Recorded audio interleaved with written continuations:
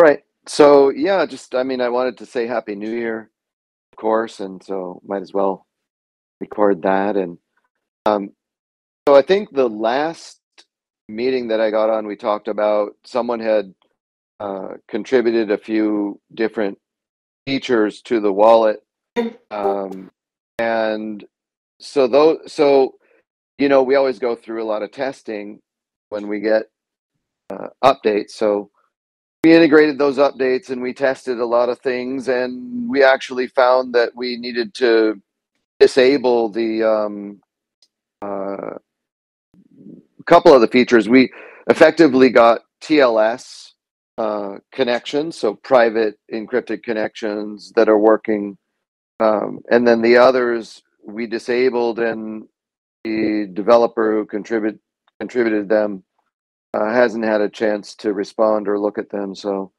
we're not, you know, we can go back and we can fix those when we have time and, and get them back in. But we did a bunch of testing on everything, and and currently we got TLS out of that work.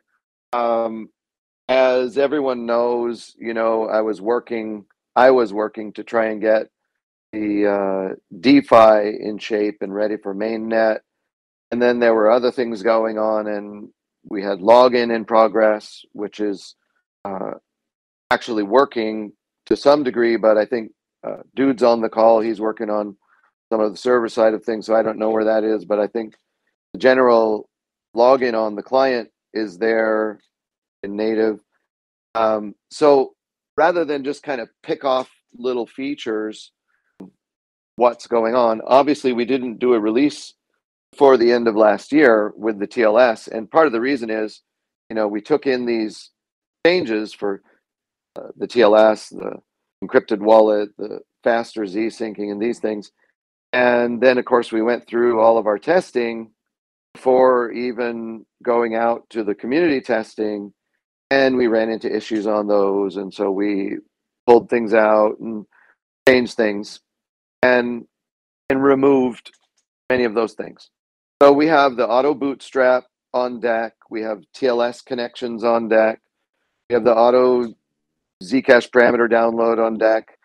And we have a number of um, hardening, a lot of hardening work and a lot of work actually to get not just DeFi, but meaningful DeFi. And even though I said that I wasn't going to, I did start spending time on the um, uh, Ethereum contracts and working to get those hardened and in shape and ready to go. And we also uh, forked for development, assuming that you know we will work on a pull request at some point, but we might. It's open source, so we'll decide when we um, when we get there. But we did fork and um, and work on the Liquality web extension wallet, and uh, some of us I was involved in doing that and and was able to get um, kind of a most of the framework in place for plugging in uh, support for Verus does like a MetaMask style um, interaction with websites. And the login that we have on native, we expect to be able to have there. Um, I've since uh, I was working a little bit with Michael Toot Jr. over the break, and and so he's going to be working on that. He's got a number of other things going on, but we're not. I don't think we're that far from having support a nice web extension that is really nice, actually. Um, Liquality supports uh, Bitcoin, Polygon, uh, Near. Um, Arbitrum directly, Ethereum, uh, Bitcoin Cash. Um, let me see, actually, I have it. Uh, well, it supports a number of different networks, um, Solana, and they do swaps um, as part of the web extension, actually. And they have a, a plugin model that um, we're pretty far along on supporting, and it's open source. And I've been using it, the development version that we're working on for a while. It's it's nice, and uh, And so we also, uh, I also took a little bit of time to redo some of our server side functionality. So um, I'm not, I, I'm going to get a little technical just really quickly so people will understand. So the way that we do our functionality for Verus, um, all of the functions of the core protocol, first they're in the protocol through the daemon, which is also what people think of as CLI wallet, currently a full node. Um, and that includes basically all of the functionality exposed in the protocol. And then for light mode, we use Electrum servers and uh, an updated um, kind of scalability, updated, modified version of Light Wallet D, Z, uh, zero knowledge transactions. And, you know, the plan to have ID support was to extend, which we already did, in fact, um, Light Wallet D to support IDs. And in looking at this extension and the way that they're doing things and the way that other people, other projects, Bitcoin, um, and Komodo and others have been doing some of this functionality, it's kind of a mix of all these things. And, you know, there's this server Bitcoin D RPC, which people are using for the Insight Explorer and they're using for, for these different um, functions. But in fact, Bitcoin D RPC was kind of, for some of the modifications that I've recently made, was kind of like, uh, and it's not like a big deal, the modifications. It was basically this interface to a node and its wallet functions and other things and then there's another server on top of that, Bitcore, um, Moto derived, and that was kind of like a, a filter and a cache that allowed the Bitcoin DRPC to be protected from using the wallet functions and then exposed. And so it's it's really interesting that all of these different servers and pieces of software even exist because they're all kind of trying to do similar things and and a lot of them are really kind of doing the same thing and so electrum has this terrible interface that doesn't map to the way that anyone does um, smart transactions at all it only maps to a very specific um, bitcoin way of looking at things that limits itself to all just the specific existing bitcoin um, functions so what I did was I extended first the Bitcoin DRPC to include all of the Verus um, APIs that do not affect wallet or depend on a wallet or control a node. And those are the things that are really exposed through ElectrumX or through Light Wallet D or through all these other random, you know, server attachments on top of it. Um, now we just have the ability to access APIs through the daemon with this intermediate server that doesn't require or give access to any wallet functions. It can include ID lookups, it can include all these different things. And then we have a version that can include, and, and we did, you know, I did kind of a comprehensive, it supports all APIs that do not um, require the wallet or control the wallet or control the node and so that means that with that in front of a node, you know, we can do something much better than Electrum or Light Wallet D or any of these. And then when we cover that with this caching uh, and evolved kind of caching API, we could probably get rid of any dependency on Electrum. We could simplify our stack, and it would effectively be, you know, the Verus um, what might be like the Web3 API. And at first, we can expose this for our applications. And you know, there's absolutely no reason at all that this API couldn't turn into something that would be that could have Infura business models behind it, that kind of thing. But of course, if if we or anyone ever does something like that, it'd be nice to make it payable with crypto because all of our decentralized bridges are too. So um, so that's been work going on and where are we so uh, did get a lot of hardening work. I would say all of the necessary hardening work, although it needs to get some uh, needs to get some some work still on it. There are a couple of reasons into the contracts, into the Ethereum contracts. Um, we did get a lot of progress on the forked web extension, and I'm hoping that we're going to have one to use just for the community to use with you know Verus in it in the not too distant future. Um, hopefully in weeks. Uh, and right now, I've got the uh, ability to. So, as people have probably noticed, if you've been using testnet, you know, going between chains, you can send easily between chains, and you can now import and export IDs between chains. But you can't really import and export currency definitions between chains, which, you know, so when you make a bridge to a new chain, only the currencies that were defined in that bridge can go back and forth. And uh, and there isn't really a way to make multiple bridges, so you can't really extend the number of currencies. And so I've gotten that um, in shape, and in the progress I'm working on, you know, getting all of that hardened. And it isn't just DeFi on one chain because we're going to have the ETH bridge, which I think either need the ETH bridge or we need. We've already ta- we've talked about uh, like a stable coin mapped bridge um, as well.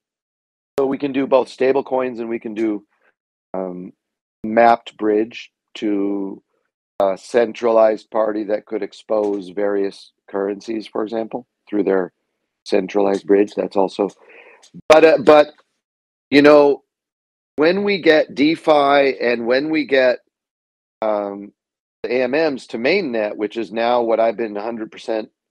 Well, I shouldn't say 100% because I've been working on all of the different things that I said.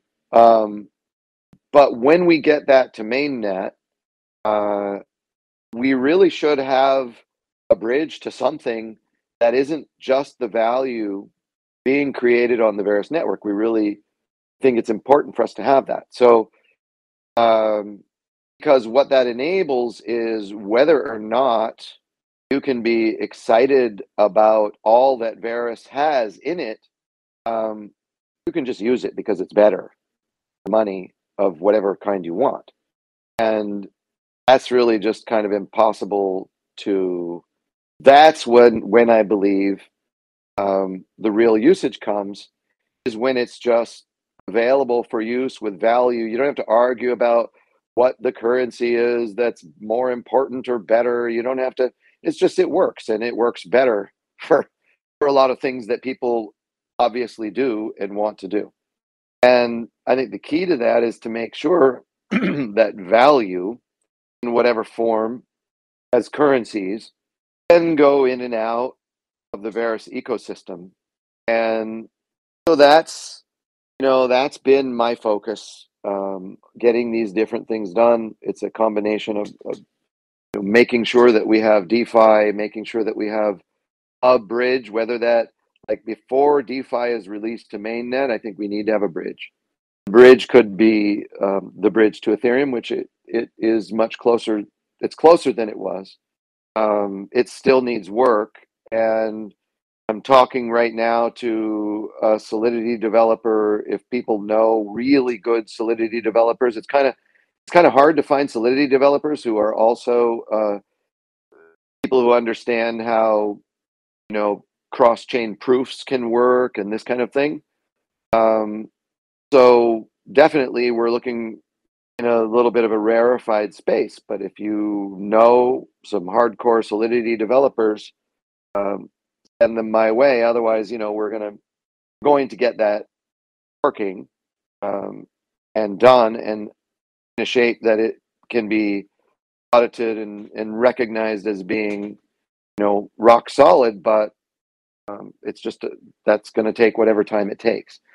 Meanwhile, I'm focused right now on getting the uh, the DeFi and uh, cross chain technology that will be required, any of these, um, to be hardened enough to be released on mainnet as soon as possible.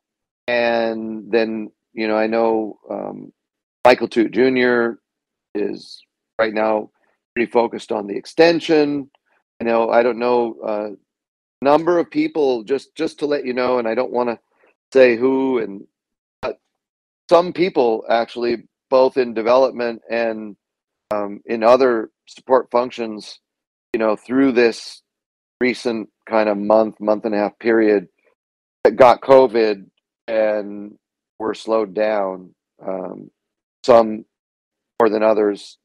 Some, you know, still a bit slowed down. So um, there was a little bit of an impact there too. Uh, and then aside from that, you know, we're working on.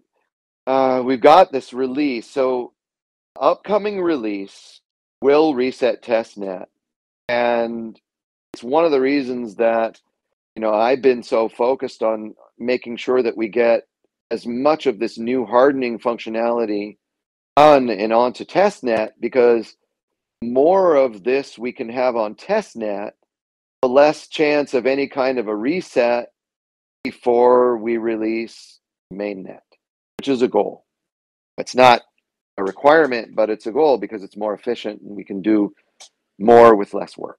So um, we do have a release that when we get back around with everybody able to, test and and do the different things to get this going, you know, there's hardening on the ETH contracts and in the um, in the bridge keeper, and either I have time to go back and debug some of that hardening because we did, and it's it's likely not really that significant, but I do either need to go back and debug that hardening, or we've also already verified that we can just revert some of the hardening that I put in there, leave it for more um, test debugging, and roll out this release for the testnet reset.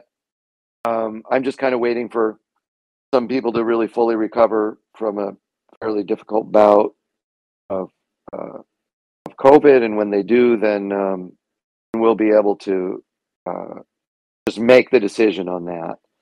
Because my preference would be to fix the issues um, get the hardening moving forward closer to mainnet on the ETH bridge. And, uh, you know, there is an easy decision to make, which is let's just shoot for this release. Let's get it, um, you know, ready in the next few days because it's the current release that we have, which includes the TLS private connections. It includes um, a lot of the mainnet level hardening testnet. It includes some Actually, it includes some efficiency performance improvements for uh, building blocks and and um, solo mining could improve in speed to some degree. Um, it's got all of the you know auto bootstrap and and these features that are also supported in the wallet. The GUI wallet has a, a backup now, a backup and restore button. These kinds of things um, there are some nice features in this release, and so we'll make a decision in the next few days if we're going to have that released with the Ethereum contracts hardening support or without. And it will be a testnet reset when it's released, and then we'll move forward from there. Um, but you know, one thing that we didn't want to do was do a release, reset testnet, and then still have work to do to bring up the Ethereum bridge again. Um, I mean that that is an option, but it kind of puts pressure on everyone in a way that might not be ideally what we want to do to just get all of the technologies ready for mainnet. But that is the focus right now, is to get the DeFi, and you know it's an unknown. So so the DeFi, yes, that's close enough, hardened enough that isn't far from mainnet, the multi-currency DeFi. The questions are, what are the liquidity bridges or bridge that we're going to want to have when we do that release? Um, what are the user experiences that we're going to have, which actually isn't going to block us because as people who have built platforms understand, you know, you got to get the capabilities before you layer the user experiences over them. And, you know, there's a lot of push to, you know, have user experiences like you see in, in Ethereum. But the reason that that is kind of a slap together house of cards, and sorry to call it that, but that's what I think it is, is that it's all about user experiences without any fundamental technology underneath beyond just links and and um, and just the ability that yes we can make a user experience that looks like something but it's not necessarily truly decentralized it doesn't necessarily truly scale it doesn't have it's not thought through but we'll get to that later. And you know so what we're doing is making sure that the technologies are there and we're not going to hold as we never have not going to hold releasing like we didn't we didn't wait to release the marketplace technology until someone with enough vision realized that they could build a marketplace website on top of it, even if they were waiting for the web extension. We didn't wait for that.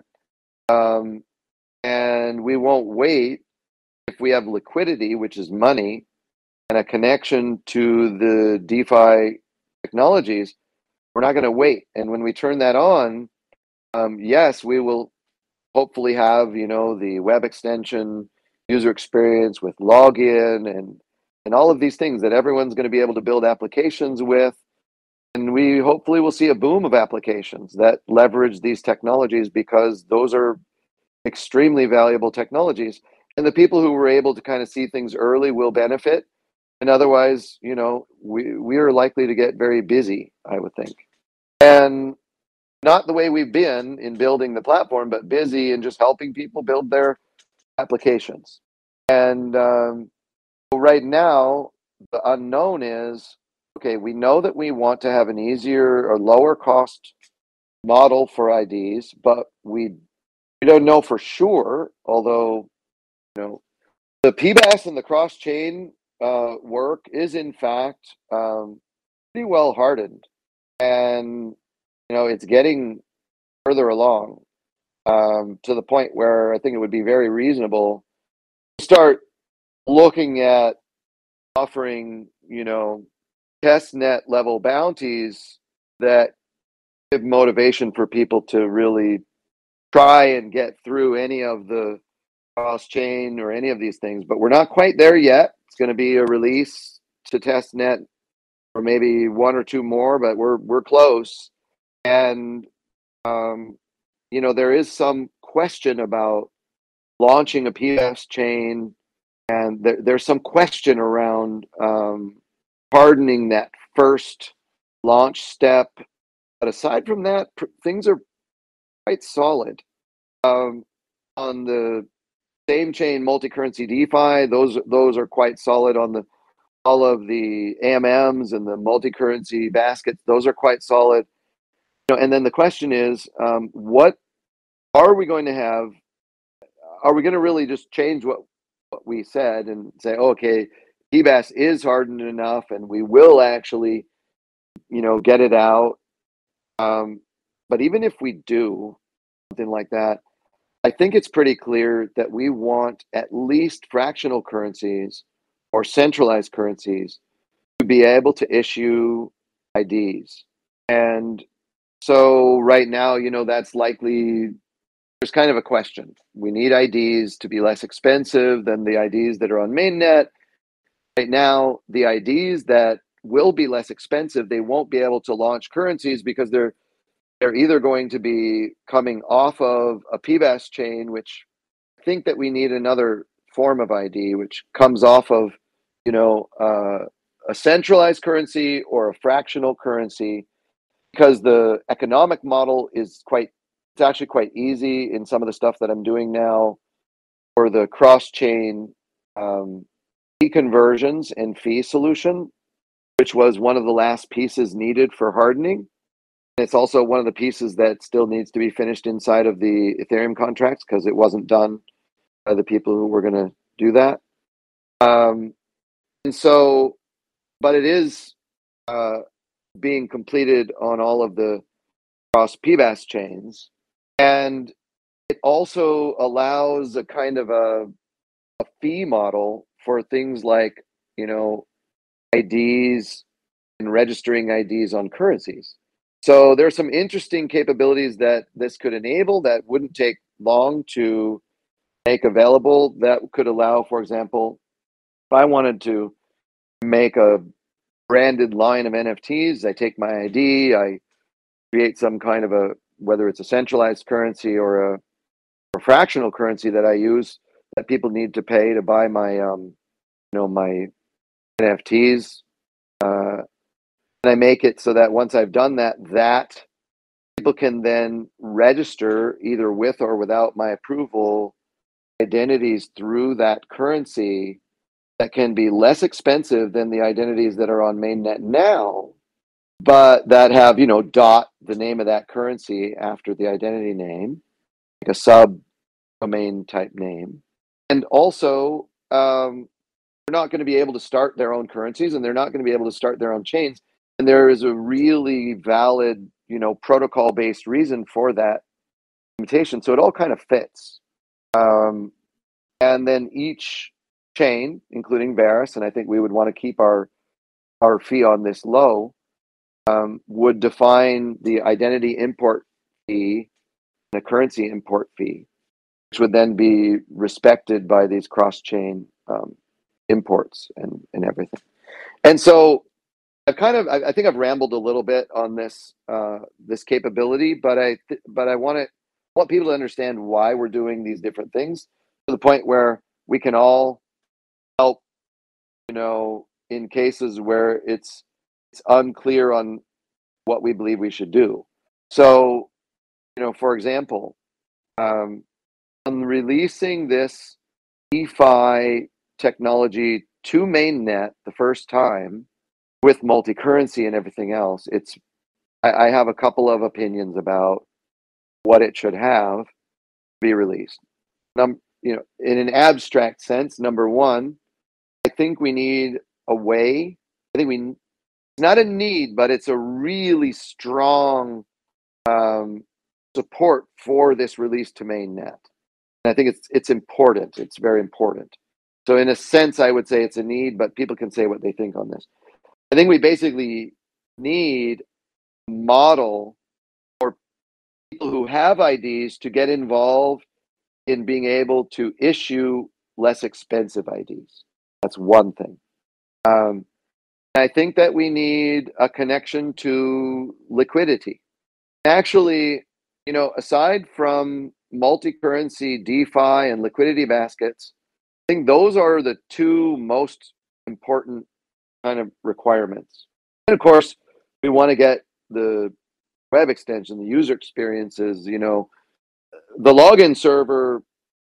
I'd really like to see that done because it's just been sitting in a, a, state near done but not done for a long time. So, um, you know, I'd love to see that.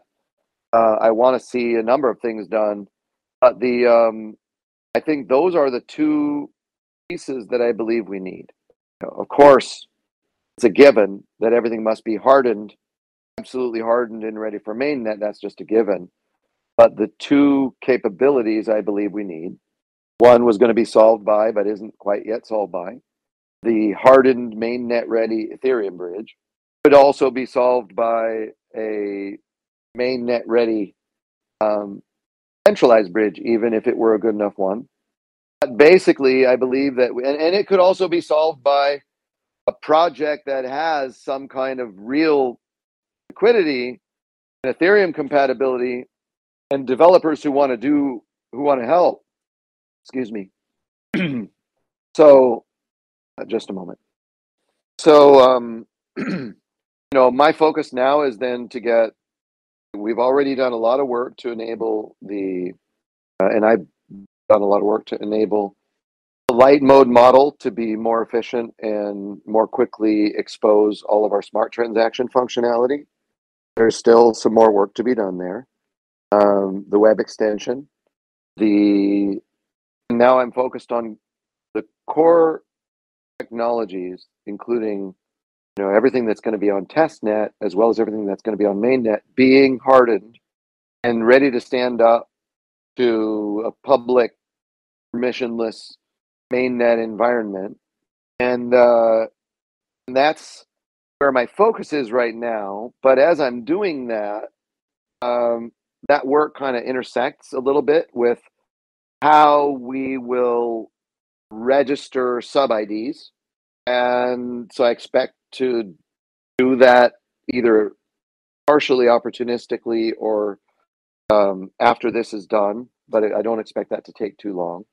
And then, um, you know, some basically, if we don't get another answer for liquidity, then I think, you know, the, or, or say, Matic wanting to help and have liquidity on their network first versus, you know, Ethereum.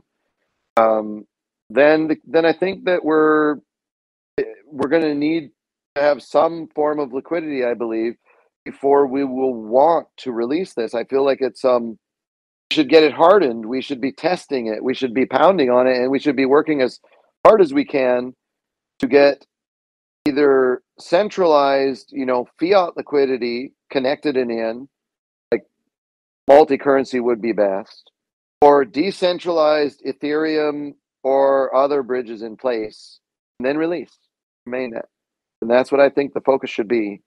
And I don't believe that the um, ID registration for sub IDs is going to be a critical, like a, it's not going to be a long pull. I'm I'm critical path, I know, in development, but uh, that's not going to be, you know, a hard thing that's going to take a long time to get finished. Um, I don't think it could. I don't believe that it would take longer than you know an extra week on top of whatever else is going on. That's kind of where things are. I think that was a, a pretty complete picture. I know I didn't summarize it very well. Um, I can take a few questions, but then I did actually spend longer than I expected talking about it, went into more detail.